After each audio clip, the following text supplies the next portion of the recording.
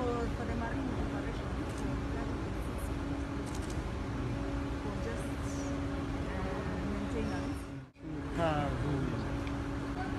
Chupavu. Yeah, Chupavu. Chupavu, yes.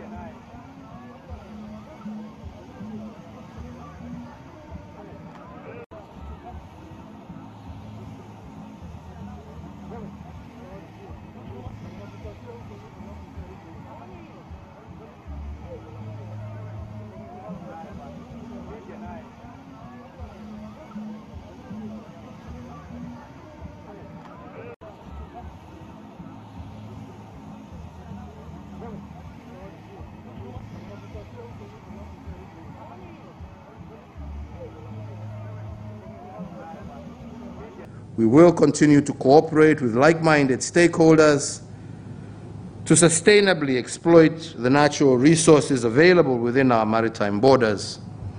With high-quality facilities in Kisumu and Mombasa, I today also urge Kenyans to fully utilize them to repair, maintain, and service their boats, but also to construct new ships and boats here locally.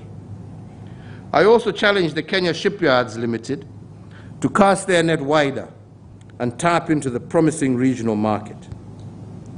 As I conclude, I take this opportunity to appreciate all our stakeholders who have worked tirelessly over the last four years to make this dream a reality. The Kenya Defense Forces, Damen, who are their strategic partners, as well as all other stakeholders, have delivered a world-class shipping yard, not just within budget, but also ahead of schedule.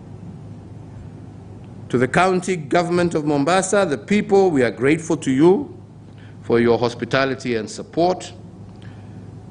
This project, I believe, will join the ranks of many others that we have undertaken in the coastal region as we seek to create jobs and to deepen the economic development of the coastal region and Kenya as a whole.